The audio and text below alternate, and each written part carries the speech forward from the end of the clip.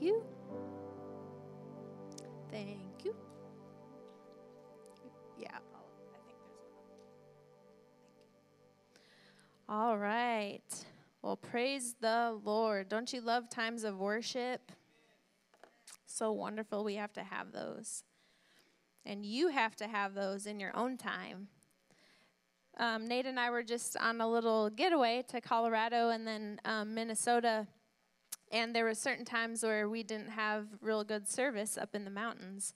And um, he said, I wish we could just have some worship music, but all my worship music was um, requires Wi-Fi. So, um, but how many of you know just the atmosphere that that sets? And when you don't have it, you really miss it. So I just chose to just sing, even though I didn't have the worship. And you know what? Sometimes it's good like that. Those little songs that come up out of your spirit, that come up out of your heart. I had one earlier today. Just, um, I've made kind of a promise with the Lord, but anytime those songs come to you, anytime those things, sing them out because the Spirit when he brings those things to you, it's it's not just like, oh yeah, that's a song that I remember from when I was a kid, or oh that that's just a cute little song. Sometimes even like Jesus loves me, and you'll think that's just a cute little kid song. But you know what? There's something the Spirit's wanting to do. He's wanting to do something in you, and he's he's waiting for our mouths to be used to do what? To sing forth his praise. Why? Because he can move. He can do stuff. And you know what? Sometimes your praise isn't even just for you.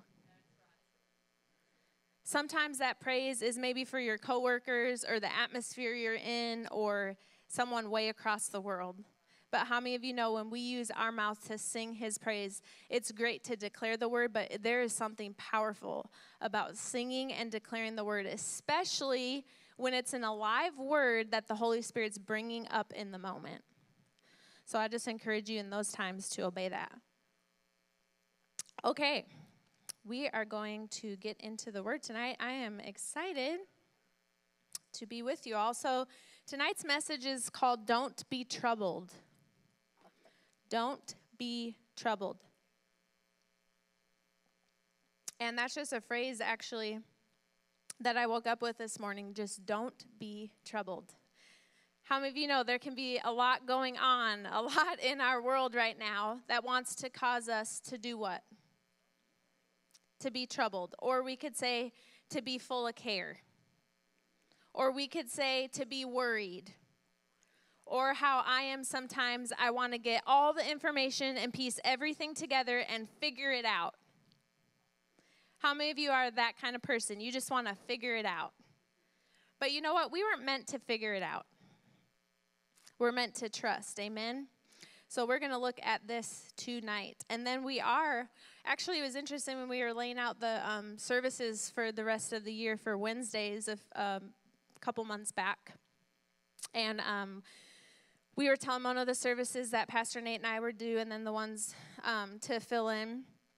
And um, all the month of October, I had just told um, Pastor Nate, I said, I just really feel like we need to highlight on prayer and the elections coming up. And um, so we did that. And then he said, Oh, actually, November 4th, I know that um, he was gone, but he said, I know you'll be there. But he said, I think we still need to focus. He said, There's just something. I still think we need to focus in on the election and prayer. How ironic, right? um, that is how the Spirit works. He knows what's coming ahead and so he prepares. So I am going to talk about don't be troubled, but um, at the tail end of this, what I want to do is I want to take just a little bit and we're going to pray together over our nation. And also, we're going to pray over sickness.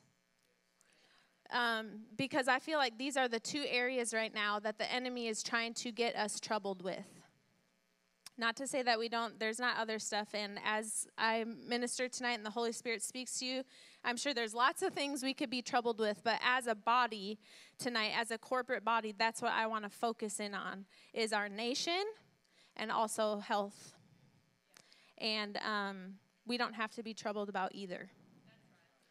And I love what um, Juan said at the beginning. Oftentimes we can picture God up there like, oh no, what?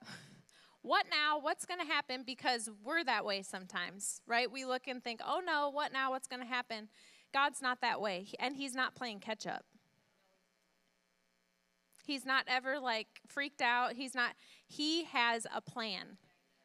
And we have to trust him and trust that plan and also be a part of that plan and work with him through our words and through prayer. Amen. Okay, so let's go to Second Corinthians 1 and we'll start in verse 3 and then we're going to skip down um, to, uh, to verses 8 through 9. And I'm, I'm just doing all amplified classic tonight. So um, I think one other verse may be in the Passion, but all amplified classic. Okay, it says, Blessed be the God and Father of our Lord Jesus Christ, the Father of sympathy, pity, and mercy, and the God who is the source of every comfort, consolation, and encouragement. So let's stop there. Who is the source of our comfort? Don't you love that? We have one source. We talked about this just probably a month or two ago, I don't remember, but where we talked about trusting in God. One source. You know, your job is not your source, your political party is not your source, the president is not your source, your boss is not your source. And you know what? If the person you wanted to win wins, is that your comfort?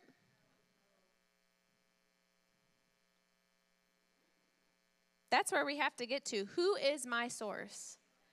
Who is the God of all comfort? What does it say right here? He is the source of all comfort. So if He's the source, then when I'm tempted to be troubled or to fear, do I go to the news media? Do I go to my friend? Do I go to Instagram, uh, the girl I love to follow because she always posts like those posts? Who do I go to? I go to the source. If I'm needing comfort, I go to the source. Now, not to say that we don't need other people or other things, but if I am going around my source to go to somebody else, I need to go to the source first. Because that's where I get my comfort. Okay, so the source of every comfort. Um, verse 8 For we do not want you to be uninformed, brethren, about the affliction and oppressing distress, distress which befell us in the province of Asia. How we were so utterly and unbearably weighed down and crushed that we despaired even of life itself. Indeed, we felt within ourselves that we had received the very sentence of death but that was to keep us from trusting in and depending on ourselves instead of on God who raises the dead. I love this. So, what was it?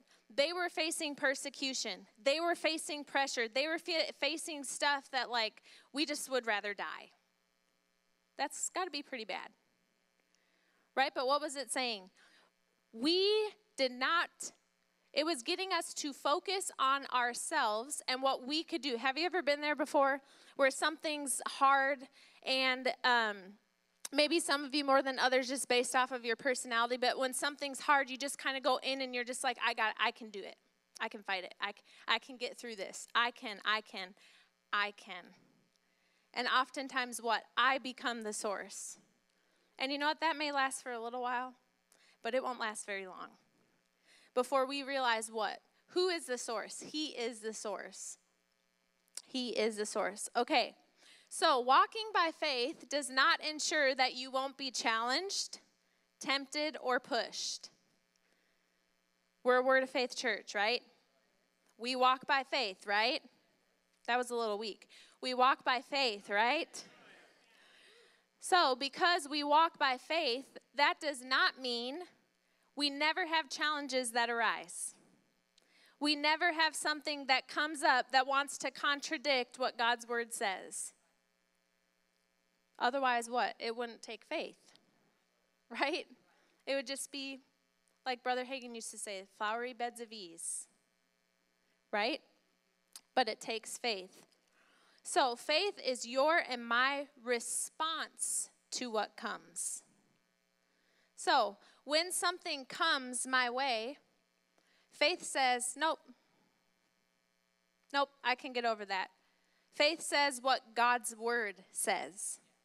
So faith is what? My response to the pressures of life that come. What do we see with Paul? There was times he was persecuted. I mean, this guy went through it all. Right? And out of all the guys who could have quit, it could have been Paul. But what did he have? He had God's word. He had faith. He responded in faith. You know what? He may have been down for a little bit, but you know what? It's like I think of Erin uh, when she was it you who had that little um, thing you punch down and it pops back up.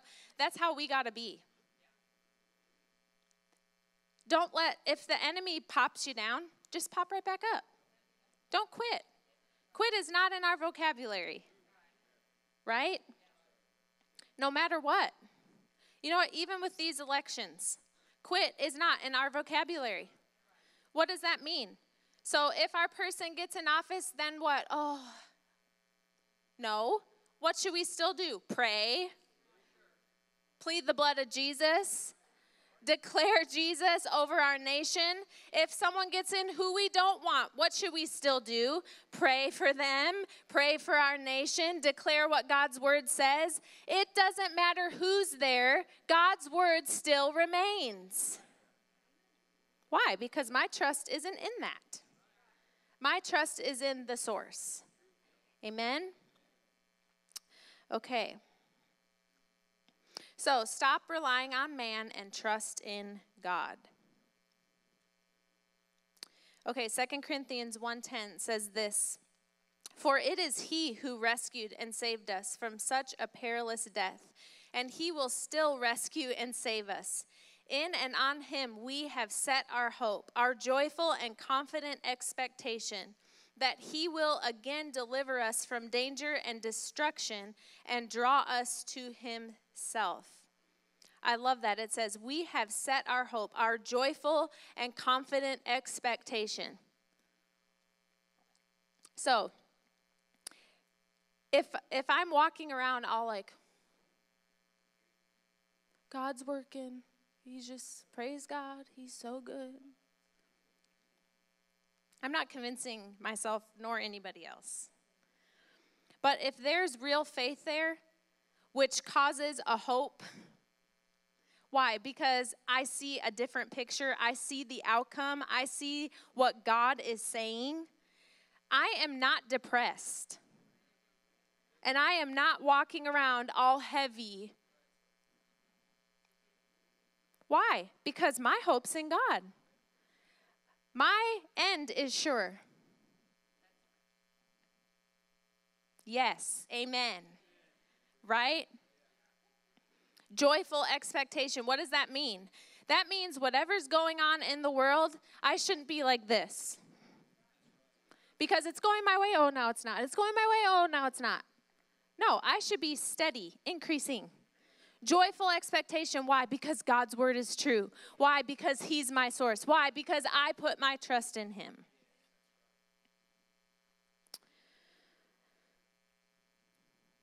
So I can say this He's been faithful.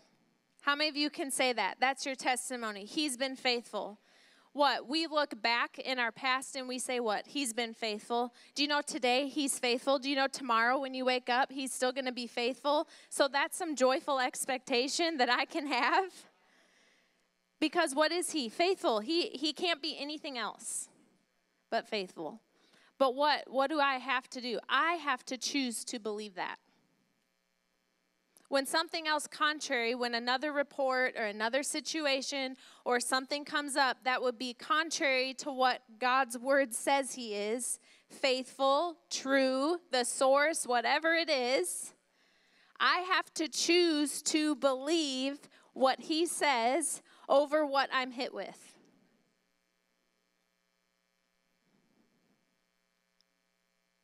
And I know this is stuff we've heard before, but I'm telling you, we're walking in times where we have to say, I trust God.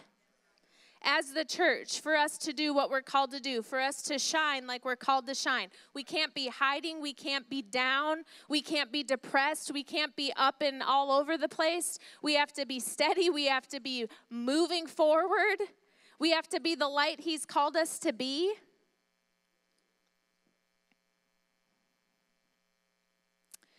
Okay. So, pressure can go on and it can come against you, but you know what? You have the choice of whether you're going to let it in you. What do we see? Pressed, but what does it say? Not crushed. We're going to look at that in a minute. So, so what was that? There's pressure all around, but you know what? Not in me. The enemy wants to send something. Nope, not today. I resist that. Not here. Okay.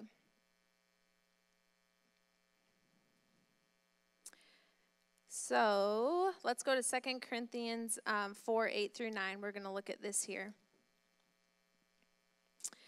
We are hedged in, pressed on every side, troubled and oppressed in every way, but not cramped or crushed we suffer embarrassments and are perplexed and unable to find a way out, but not driven to despair. We are pursued, persecuted, and hard driven, but not deserted to stand alone. We are struck, struck down to the ground, but never struck out and destroyed. So, troubled here means this pushed, pressed, or squeezed. Have you ever felt pushed, pressed, or squeezed? I have. Plenty of times. So, what did we what did we say earlier? Living by faith doesn't ensure that no pressure will come against you. We know that, right? But no matter what comes, you can control what gets in you. If I'm full of fear, that's not because the enemy made me full of fear. What was it? I allowed that. I allowed that spirit of fear to enter through what? His suggestion. He can't just go I have to take that suggestion and think on it and dwell on it. And what does it begin to do? It actually begins to paint pictures of a very dark, gloomy future. Any thought the enemy plants is always going to be what? Stealing, killing, and destroying. So that's the end goal for him. So, how does he get in? It's not just like, oh, I, he gets in through suggestion, he gets in through fear. So if I'm feeling hopeless, if I'm feeling scared, if I'm taking a lot of care and anxiety, if I'm feeling weighted down and really heavy, it's not like, oh yeah, the enemy just put this on me. No, no, no, no, no. He suggested suggested it. But I had to receive it. So he can suggest something Pastor Nate says this someone may suggest getting the steak at a restaurant when you say, What would you suggest? or What would you recommend? And they would say, I'll, The steak. And then you can say, I'll take the burger and fries. Just because the enemy suggests it doesn't mean I have to take it. I get to choose. Say that. I get to choose. So, if you've been walking around doomy and gloomy, or scared, or in fear, or frustrated, or whatever it might be, look at what you've been thinking on. Because you've been listening to the wrong voice, which is painting the wrong pictures, which eventually, if you keep going further, is just a fear, really, of death. It's a fear of death, it's a fear of a bad outcome which is what? He's the father of that. But what does it say? Jesus came that I give life. So, how do I know when I'm taking the right suggestions? Is when the outcome painted for me is full of life. I have a smile on my face, it's joyful. Five years down the road, I'm not dreading life. I'm excited because why? It's going to be better. God's working and moving. My future is bright. Guys, we got to get a hold of this, especially as the church. Why? Because if I'm expecting doom and gloom, how, how am I supposed to help other people? And why would they want that? like, there's enough of that going on. But when I'm walking around as the light of the world that He's called me to because I'm focused on His Word, I'm focused on what He's saying, it draws other people because they're going, You're not freaked out. You're not hunkered down in a hole. You're not all distraught. You didn't do 80 posts on Facebook that are all full of fear and afraid. Why? Because trouble may come, but what's on the inside is greater. Because I've chosen to take God's word and put it where? In my heart. Which does what? That word resists, it pushes back against that pressure. Okay. And then perplexed in that verse means this to be at a loss, to see and have no way out. Have you ever been there? Where you feel like you have no way out, where you feel like it's hopeless? That is the enemy. It is never hopeless. I'll say that again. It is never hopeless. So, anytime you're feeling like, hmm, huh? What what's going on? What oh my gosh, what's happening? Oh, oh. Wrong. Wrong suggestion. Why? I know exactly what's happening. God's word's working. I know exactly what's happening. I'm full of joy. I'm full of peace because why? God's word is working. He has a plan. I don't have to be afraid. So many are defeated because the enemy likes to hold us in a realm of reason. The enemy likes to keep us right here in our mind, reasoning, figuring out, trying to make a plan, a backup plan. Well, if this happens, then I better be doing this, this, and this. Is that because God told you to do it? Or are you making that decision because you're afraid of or you heard a newscaster say something and it got you down a trail and now you're going, oh, I, I really better do something. Really? Because that's not where we're supposed to get our direction from. My direction comes from what I've heard my father say. And what I've heard my father say means there's blessing and provision and life on that plan. So, reason delays believing. When I'm in the realm of reason, it delays believing. Have you been there before? Plenty of times. We all have, right? When he gets me into reason, it delays believing. It tries to make me understand something first. This is where we get off.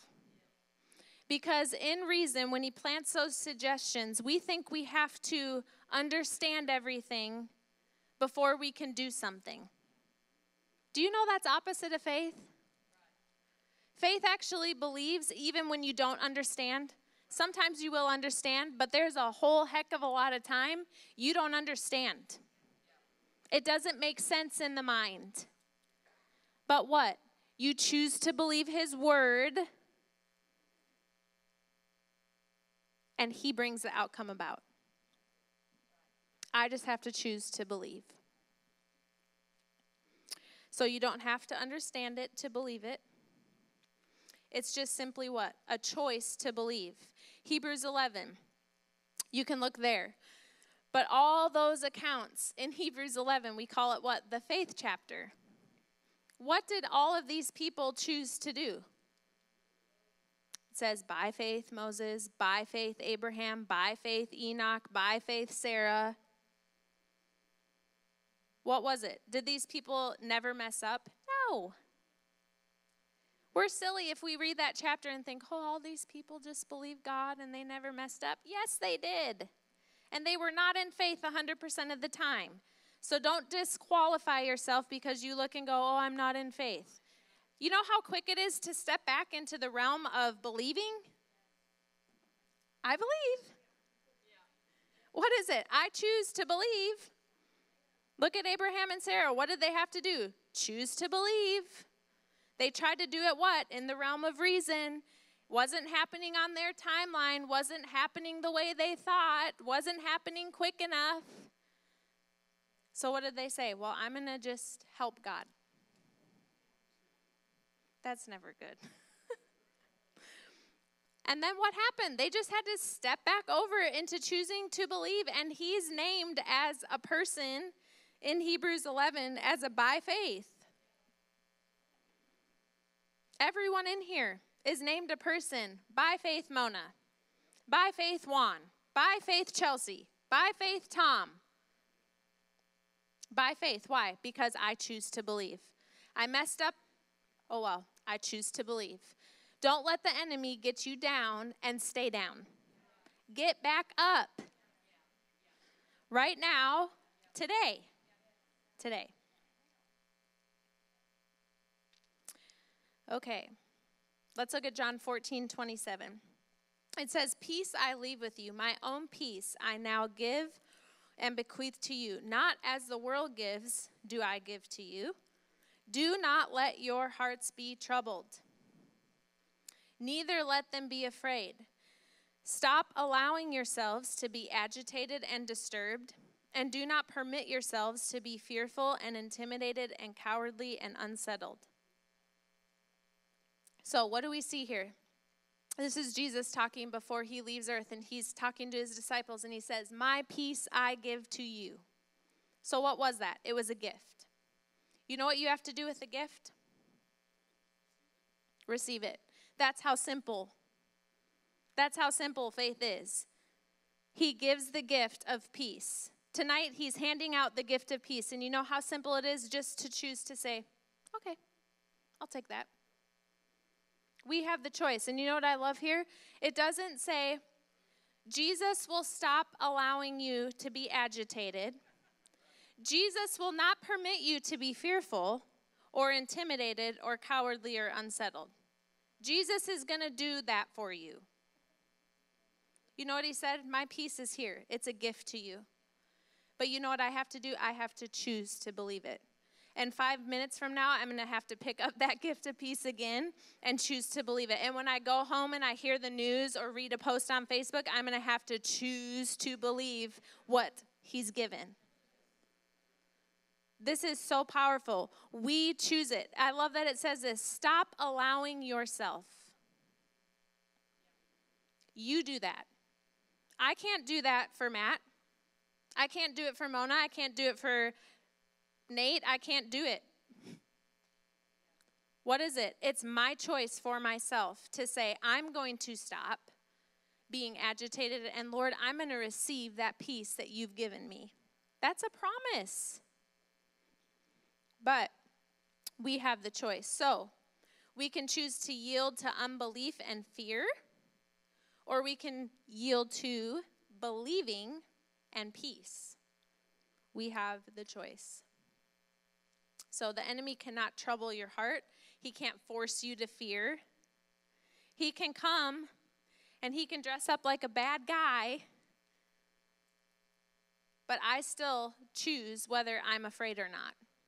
I still choose. Just like Jesus is handing that gift of peace, the enemy is trying to hand you a package of fear and torment and care and worry. And you know what? You can say no. No to that.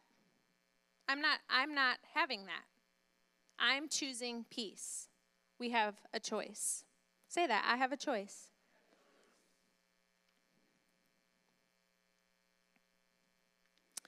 Okay, let's see where we want to go here.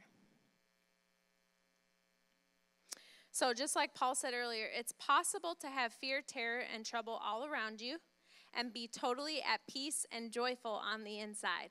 What did we see? Everything was around them, trying to crush them, trying to press them, trying to break them down. But what was it? On the inside, there was something greater.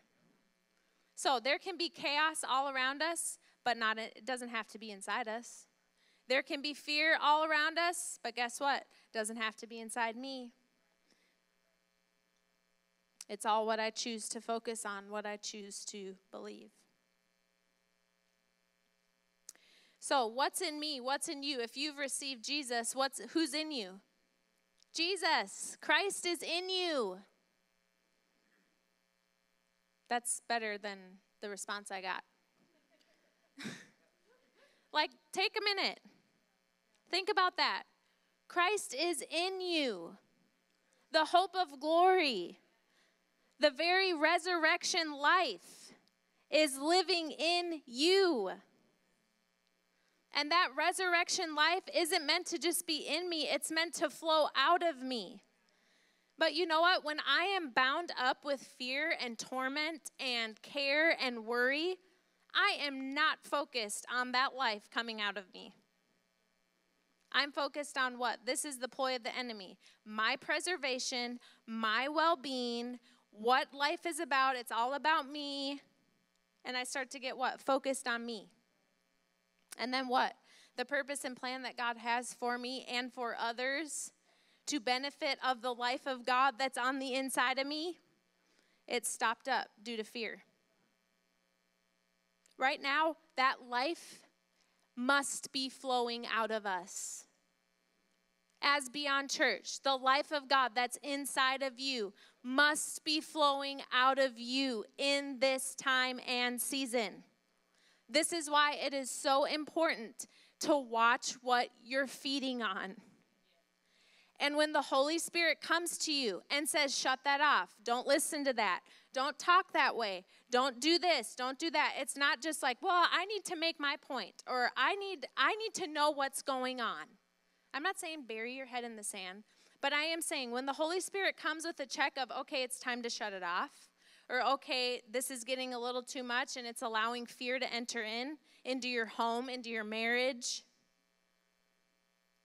that's a good time to shut it off and to go to the source. What does his word say? Do you notice when you take your eyes off of whatever's feeding you the voice of fear and you get it over onto the word? I mean, just those songs that we sung tonight, what did it do? I, I don't think when we were singing them that anyone was going, I'm going to die. Oh my gosh, what's going to happen? No, what is it? You reign above it all. You sent the darkness running. What is it? This is the word of God. What is it doing? It's painting the right picture. It's painting me as victorious over death and darkness.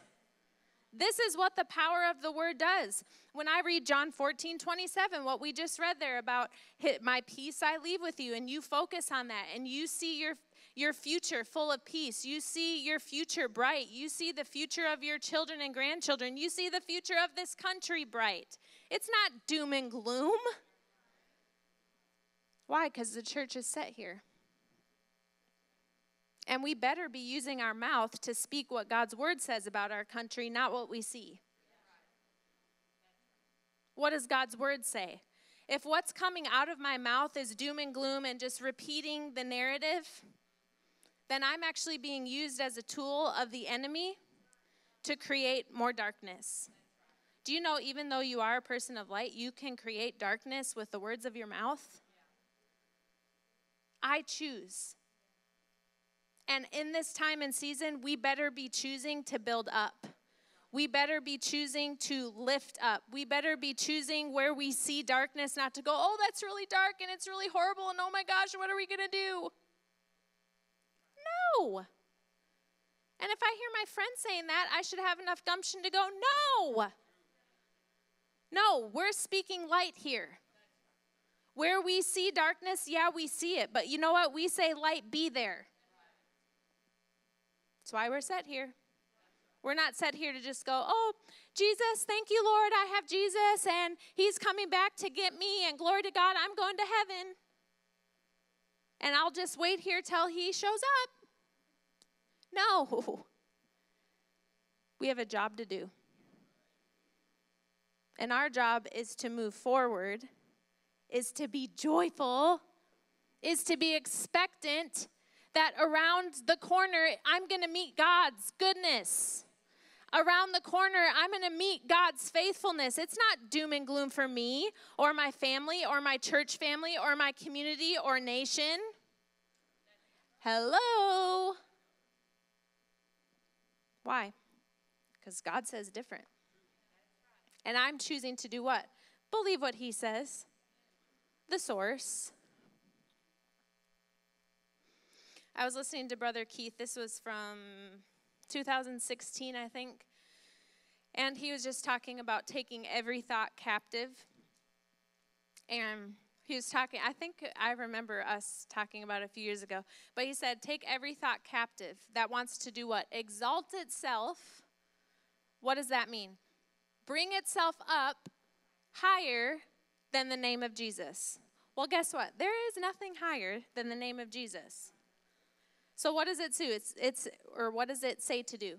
It says to cast down those vain imaginations. So what did he say? Slap it down. Like he was physically saying. And he said, Don't hit anybody, but just slap down those vain imaginations. Why? Sometimes we have to do like physically that when it's coming to say doom and gloom, care and worry. What do I have to do? No, in the name of Jesus, my God supplies all my needs.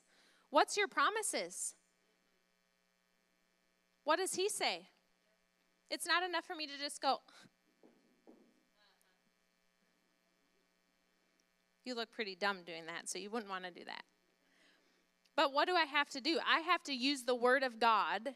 It's not just, oh, I slap that down. No, I have to use the Word of God to combat what He's trying to throw at me. When Jesus was tempted in the wilderness, what did He do? Oh, devil, don't do that. Stop saying that. That's not true.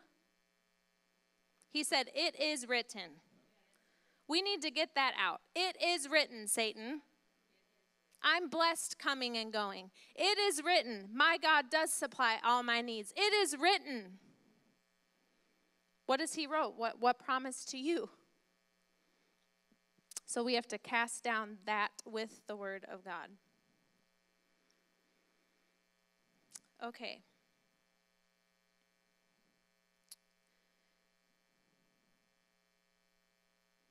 Now, um, I wanted to read uh, just a couple things here before we close over the next few minutes. You can just stand and we're going to um, just agree together here the last uh, couple minutes. Are y'all glad you came tonight? I love church.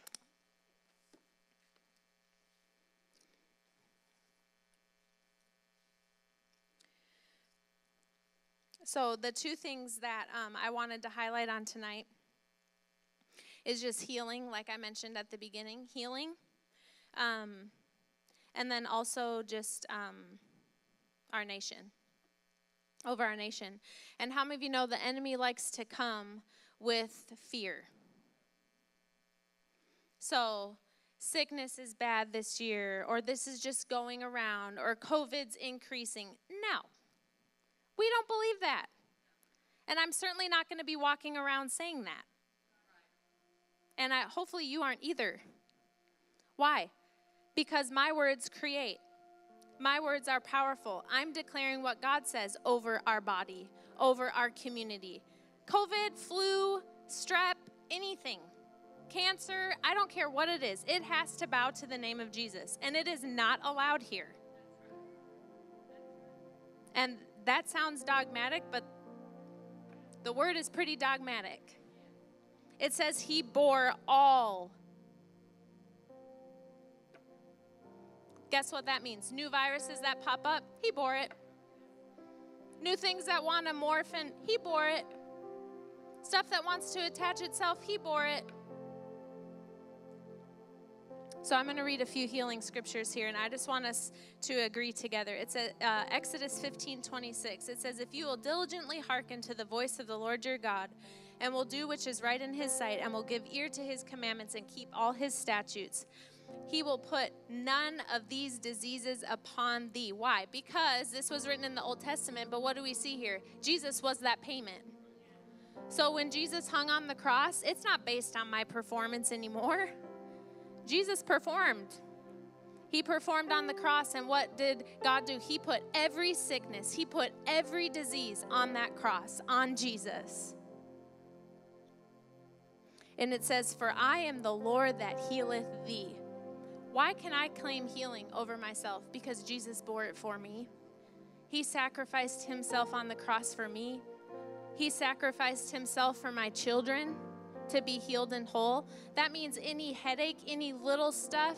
Sometimes we even want to just say okay to the stuff we can handle like a headache or I don't know what, little stuff, but we want to just say because it's not horrible, we can bear through it. No, He bore that. And I would encourage you, little stuff, use your faith on that stuff. Declare healing over yourself. Picture him on that cross. Let's just do that right now. Close your eyes, and I want you, whatever thing, and you know what? The enemy may have convinced you that it's just little, it's not that big a deal. No, it is because he bore it for you. So, what is it? He, God was pleased, it says, to put his son on that cross. Why? Because he knew it was payment. Not only for us to be with him again, but payment for us to live a full life here and now. So, any sickness and any disease, it says, He is the Lord that healeth thee. Why? Because that promise was met 2,000 years ago when Jesus hung on that cross and He received every stripe on His back. It says His body was broken for us. It says we can be healed. We are healed because of that sacrifice that He made on the cross. So let's just lift our hands to Him tonight. Lord, we thank you we thank you for that healing promise that you've given us. That Jesus hung on the cross, the stripes on his back, which he bore for us. You are our God. You are our healer, and we thank you. We receive that tonight. Just say, I receive my healing.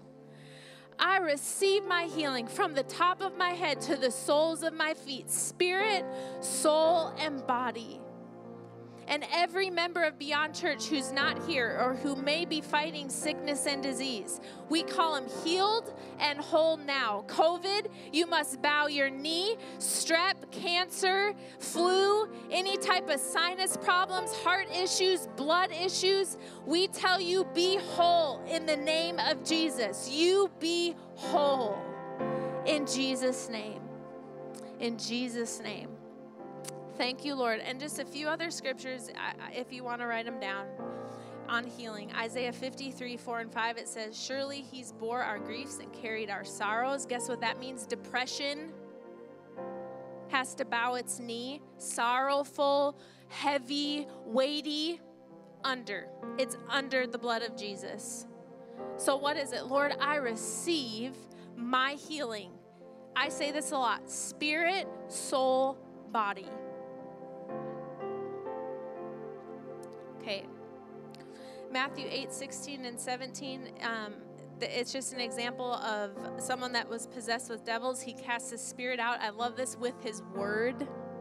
And he healed all that were sick. Every time you read in the Gospels, it says he healed all. He healed all. He went about doing good and healing all, healing all, healing all. You qualify under the all. Amen. Okay, now I just want to pray this prayer over um, America. This was, I think this was the same one that I um, prayed a few weeks ago when we were praying, but this was one Pastor Lynn, our, our pastor up in Minnesota, um, wrote out, and I, I just want to pray it. So you can just close your eyes and agree. It says, Father, in the name of Jesus and according to your word, we pray for those in authority in our nation. We lift up President Donald Trump, his family, his staff, and cabinet members. Let your word cling to them and let them not depart from your plan. Strengthen them with mighty power by your Spirit to stand against wickedness, lies, and deception. Guide President Trump's decisions. Let your light shine upon his path and show him the path of reversal for every evil way. Continually surround him with godly men and women who impart wise counsel to him. Cause the way of the wicked to be set to confusion and come to nothing. Deliver us from the traps and snares the enemy has laid for us, and let the wicked be caught in their own devices and be brought to shame. We take authority over the plots and plans of the enemy against our nation. Let prideful and lying lips be silenced in Jesus' name. Slanders will not be established in America. We pray for our Congress, our Supreme Court, our military leaders, and our intelligence agencies. Let the wisdom that is from above reign in this nation and be constantly speaking to our leaders. We exercise the authority that you have given us to tread down all the power of the enemy. We cast down and demolish imaginations and arguments that exalt themselves against the knowledge of God, and we bring into captivity every thought to the obedience of Christ. We bind spirits of strife and division, civil wars and tumults, spirits of hostility, lawlessness, and blasphemy, and fires from hell that have burned in our cities. We speak grace and peace over America. We pray and believe for the voice of truth, salvation, revival, and restoration to be proclaimed and heard across our land. Grant unto your servants everywhere that with all boldness we may speak your word. We pray for a mighty outpouring of your spirit with signs, wonders, and miracles. We expect the wisdom of this world, of this world that is earthly, sensual, and devilish to depart and vanish until your mighty work in America becomes a beacon of hope for all people everywhere. We expect the voice of rejoicing to be heard in our nation for your goodness, mercy, and prosperity. In Jesus' name, amen. Let's just lift our hands. Father, we thank you. We thank you that your word is working. Your word is working in us, in our marriages, in our families, in this congregation of believers. We thank you. In our city, in the state, and in our nation, we thank you.